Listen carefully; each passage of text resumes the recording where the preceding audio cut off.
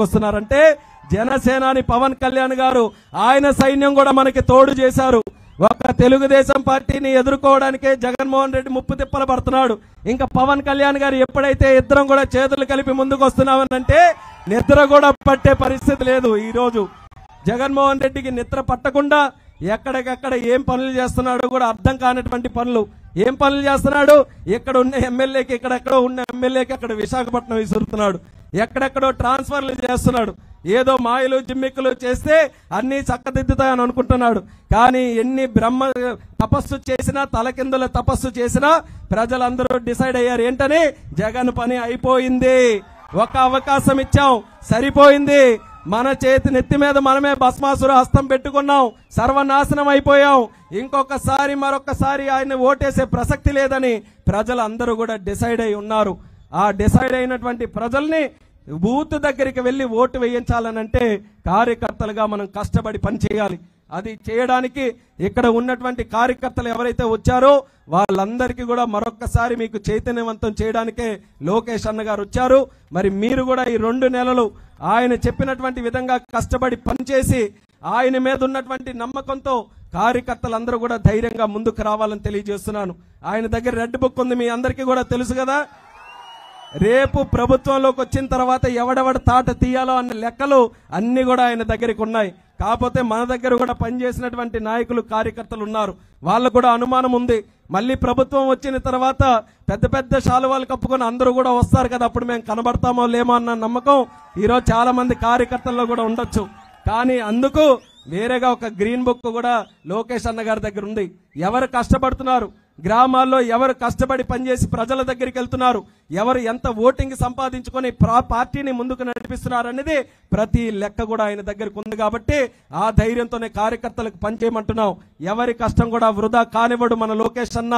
లోకేష్ అన్న భరోసాతో యువతరం కూడా ముందుకు వచ్చి కష్టపడి పనిచేయాలని మళ్ళీ మళ్ళీ మీ అందరికీ కూడా ఈ సందర్భంగా తెలియజేసుకుంటున్నాను.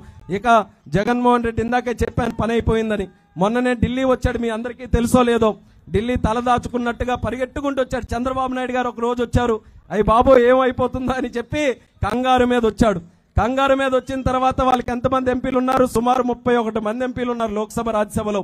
మీ నాయకుడు జగన్మోహన్ రెడ్డి వచ్చాడయ్యా ఎవరికో కలవడానికి వెళ్తున్నాడు వెళ్ళనంటే ఆడ వెనకెళ్తే మళ్ళీ మాకు ఉన్న ఓట్లు కూడా మాకు రావు. ఆయనతో మేము తిరగమని చెప్పి ఒక్క ఎంపీ కూడా వాళ్ళు వెనకెళ్ళే పరిస్థితుల్లో లేరు.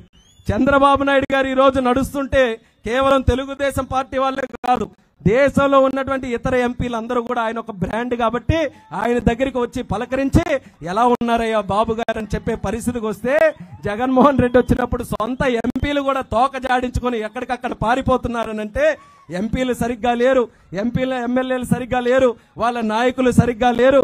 ఆఖరికి ప్రజలు కూడా రేపు వాళ్ళకి సహకరించరనే మాటని మనమందరం కూడా తేల్చి చెప్పే విధంగా ఎన్నికల్లో ఓట్లు వేయించాలని మళ్ళీ మళ్ళీ మీ అందరికీ కూడా తెలియజేస్తున్నాను. ఇప్పుడే చెప్పింది అమ్మ కూడా రేపు మళ్ళీ వాళ్ళందరూ కూడా ప్రభుత్వంలోకి వస్తే జగన్మోహన్ రెడ్డి ఏ రకంగా మీ భూములు కాజేస్తాడని.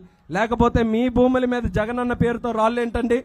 లేకపోతే మీ భూముల మీద మీ తండ్రి పేరో మీ తాత పేరో మీ బాబుల పేరో మీ పేరో ఉన్నటువంటి భూముల మీద జ- జగన్మోహన్ రెడ్డి ఫోటో వేసుకొని ఈరోజు ఉంచడం అని అంటే ఆయన మళ్ళీ ఇంకో స్టేట్మెంట్ కూడా ఇస్తున్నాడు ఏమని మీ బిడ్డనమ్మా నేనని. మీ బిడ్డనంటే మీరు మురిసిపోవద్దు. మీరేదో మీ బిడ్డనంటే ముఖ్యమంత్రి మా బిడ్డగా ఉన్నాడు. రోజు వస్తాడు మాకు సేవ చేస్తాడు అనుకోవద్దు. అన్ని పక్కా ప్లానింగ్తో ఉన్నాడు జగన్మోహన్ రెడ్డి. ముందు రాళ్ళు వేయించాడు తర్వాత ఫోటో వేయించాడు తర్వాత మీ బిడ్డ అన్నాడు రేపు మీ ఆస్తిలో వాటా కోసం ఖచ్చితంగా వస్తాడా జగన్మోహన్ రెడ్డి? గుర్తుపెట్టుకోవాలి మీరందరూ కూడా. దొంగ బుద్ధి ఎప్పుడు కూడా పోదు. ఇప్పటి వరకు ఐదు సంవత్సరాలు ఎన్నో రకాలుగా దొంగ బుద్ధి చూపించుకున్నాడు. పది రూపాయలు మీకు ఇచ్చినట్టే ఇచ్చి వంద రూపాయలు మీ దగ్గర లాగేసుకున్నాడు. ఈ మందు మందు తాలూకు విషయం తెలుసా అందరికీ కూడా? ముందు ముందున్న వాళ్ళకైతే చాలా బ్రహ్మాండంగా తెలుస్తుందేమో. అక్కడ లేడీస్ కూడా ఉన్నారు వాళ్ళకి కూడా తెలుసు. ఎందుకంటే వాళ్ళకే ఇచ్చాడు ప్రత్యేకంగా హామీ జగన్మోహన్ రెడ్డి. ఒక్క చొక్క మందు లేకుండా ఆంధ్రప్రదేశ్ రాష్ట్రం చేస్తామని చెప్పిన వ్యక్తి ఈరోజు మందు మీదే వ్యాపారం చేసి పాపం సొమ్ము ఈరోజు సంపాదించుకుంటున్నాడు. ప్రజల జీవితాలతో ఆడుకుంటున్నాడు. రెండు వందలు ఎంత ఉన్నాయి ఇప్పుడు చెప్పు? ఎంతో మరి వినబడట్లేదు కానీ రెండు వందలు ఎంత ఉంటే మూడు వందలు చేశాడని. మూడు వందలు అనుకుందాలే పోన్లే డిస్కౌంట్ మీద మూడు వందలు చేశాడని అనుకున్నా రెండు వందలు రెండు వందలు ఉన్నటువంటి మందే అసలు దొరకకుండా చేస్తామన్న వ్యక్తి క్వార్టర్ మీద వంద రూపాయలు పెంచి రోజుకి మీ దగ్గరే వంద లాగేసుకుంటున్నాడు క్వార్టర్ మీద. అంటే నెలకి సుమారు మూడు వేల రూపాయలు.